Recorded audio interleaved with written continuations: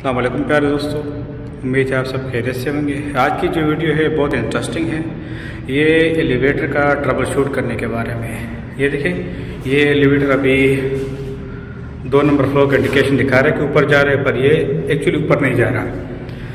अगर आपके साथ इस तरह कंडीशन होगी तो आप ले सपोज़ इसके अंदर कोई आदमी है तो आप उसने उसको किस तरह निकालना है? तो आज आपको ये पूरी डिटेल बताएँगे। इसका फ्लोर चेक करने का, उससे इसको टबल शूट करने का और इसके अंदर अगर कोई सपोज़ कोई है अंदर है तो उसको किस तरह निकालने का। तो सबसे पहले आपको चाबी चाहिए। ये ट्रायंगल कोर की चाबी है और ये इसका प्लेस है। यहाँ पे आपने चाबी लगा रफीक भाई? देखिए, चाबी को अंदर लगा के ओके देखिए डोर को आपने स्लाइड लिखे ओके चाबी निकाल के डोर को आपने ओपन कर देना ये देखिए, डोर ओपन हो गया ओके उसके बाद आपने क्या करना है? एलिवेटर की पोजीशन चेक करनी है देखिए, ये देखिए, अब ये एलिवेटर यहाँ से, ये देखिए एलिवेटर अभी पाँच से ऊपर है ओके तो अभी हमारे पास जो फ्लोर है, वो है नाइन नंबर इसके बाद, यानी अब हम पाँच नंबर पे हैं तो अभी अब हमने नाइन नंबर पे जाना है। तो इसको ऊपर लेके जाने का एक मैनुअल तरीका है तो अब ये ऊपर जाते हैं, आपको दिखाते हैं, ये देखें अभी भाई आराम से डोर बंद कर ले, आराम से। सबसे पहले आपने क्या करना है, आपने एलिवेटर की पोजीशन देखनी है ओके कि एलिवेटर कौन सी पोजीशन पे है ओके उसके बाद आपने रेस्क्यू करना है। रेस्क्यू का क्या मतलब है?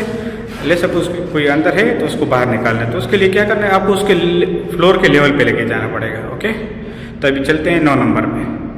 देखिए, हम एलिवेटर के रूम में आ गए हैं। ये देखिए ये एलिवेटर का मशीन है, यहाँ पे मोटर है। ये उसके जो लोहे के बेल्ट होते हैं, जो रस्सी होती है, इसको हम रोप भी बोलते हैं। ओके सो ये दो लगे हुए हैं। अभी ये वाला जो है, ये वाला, अभी ये सेंटर में फंस गया है, दो नंबर फ्लोर पे, जैसे हमने आपको दिखाया था। तो अभी क्या करने का है, जब इसका ट्रबल रेस्क्यू करेंगे तो सबसे पहले हमने क्या करना है, ये देखिए मशीन सब कुछ आने, सबसे पहले हमने क्या करना है मेन ब्रेकर को ऑफ़ कर देना है। फिरोज भाई आप करो.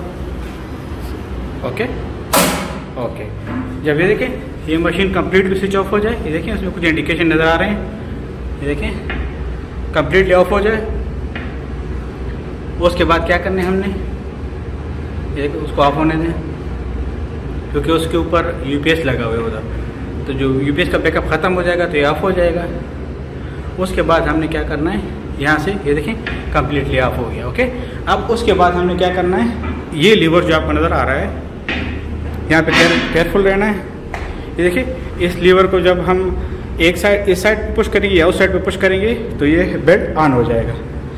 फिरोज भाई ऊपर जाओ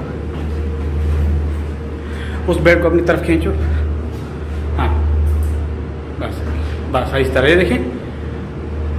ये अभी ऑन हो गया ओके आपने उसको पकड़े रहना है। ये खुद बहुत अब देखिए, इसमें आपको फ्लोर का किस तरह पता चलेगा? ये देखें। ये आपको पेंट का कलर नज़र आ रहा है। वहाँ भी आपको पेंट का कलर नज़र आ रहा है। यहाँ पे सेम इसके ऊपर भी जब येलो कलर आ जाएगा तो इसका मतलब है ये फ्लोर के जब यहाँ पे हो जाएगा तो ये फ्लोर के बराबर लेवल में हो जाएगा ओके फिर भी एक बात याद रखें। कभी भी ऑन पावर में इस तरह ना करें, वरना ये आपके लिए ख़तरनाक आप एक्सीडेंट हो जाएगा ओके तो ये बात अपने जहन में रखें। जब हम इसको फ्लोर के लेवल में करेंगे, उसके बाद, क्योंकि नीचे की वीडियो तो मेरे ख्याल में फ्लोर के लेवल फ्लोर लेवल की वीडियो शायद वो मेरा दोस्त बना दे। नहीं तो आपको यहीं से बता देंगे कि फ्लोर को हम किस तरह चेक करते हैं। उसके बाद हम उसका ट्रबल शूट करेंगे। इसके अंदर कोई है तो उसको हम बाहर निकाल लेंगे ओके ये देखिए, ये फूजी कंपनी के हैं, दोनों एलिवेटर ओके इसका, इसके अंदर ये मोटर है, ये सारा कंट्रोल जो होता है, ये वी के ज़रिए चलता है ओके आपने ये बात याद रखना है। और अभी हम इसका कर लें, उसके बाद आपको उसे कंट्रोल पैनल दिखाते हैं। ओके अभी हम आपको दिखाते हैं कि हम एलिवेटर को जब एलिवेटर जाम हो जाए या स्टक हो जाए ना कंट्रोल की वजह से तो उसको हम नीचे किस तरह लेके जाएँगे? ये देखें। हम, अभी हमें फ्यूजी का पता है, बाकी एलिवेटर का पता नहीं है तो हम आप उसका, उसको, उसका आपको नहीं बता सकते।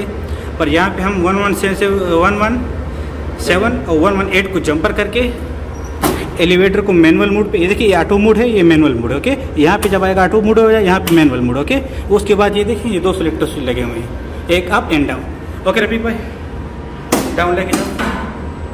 ये देखें ये डाउन स्टार्ट हो गया ओके हर एलिवेटर और हर कंपनी का अलग अलग से प्रोग्राम होता है तो आप इस बात को ज़रा अपने जहन में रखें ओके सब एक जैसे नहीं होता ओके ये देखिए, वहाँ से अभी डाउन स्टार्ट हो गया ओके केयरफुल रहना, जिस चीज़ का पता ना हो प्लीज़ रिस्क नहीं लेना ओके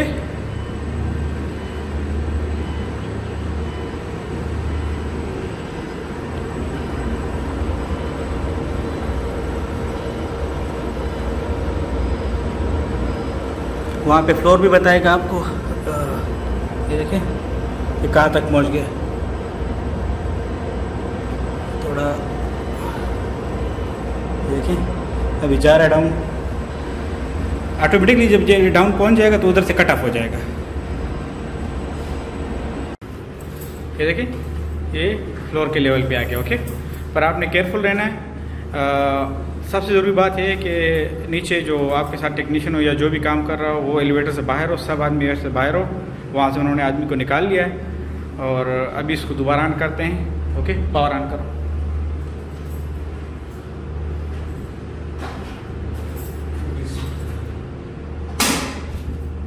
देखिए, हमने दोबारा पावर ऑन कर दिया ओके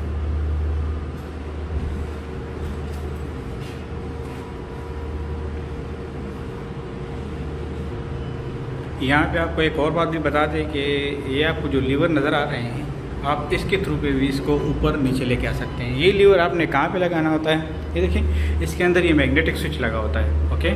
जब आप इसको ओपन करेंगे तो क्या हो जाएगा? ये यहाँ पे इसका लीवर इंसर्ट करने की जगह यहाँ से भी आप लीवर इंसर्ट करके, पर क्योंकि ये एक्चुअली सिक्सटीन फ्लोर है, इसका अपना वेट ज़्यादा होता है तो हमें वो लगाने की ज़रूरत नहीं पड़ती, ओके? तरीका सेम है। लीवर को इंसर्ट करें, ब्रेक को पुश करें, आप उसको आगे पीछे लेके जा सकते हैं, ओके? तो आज की वीडियो में इतना ही था। अभी इसके बाद हम एलिवेटर वाले जो कंपनी उनसे कांटेक्ट करते हैं ताकि वो आके चेक कर लें। इसमें एक्चुअली क्या होता है, डस्ट की वजह से, क्योंकि ये बहुत ऊंचाई पे है।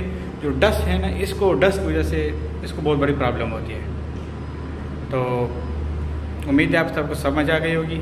अपना ख्याल रखें, दुआ में याद रखें, चैनल को लाइक करें, सब्सक्राइब करें।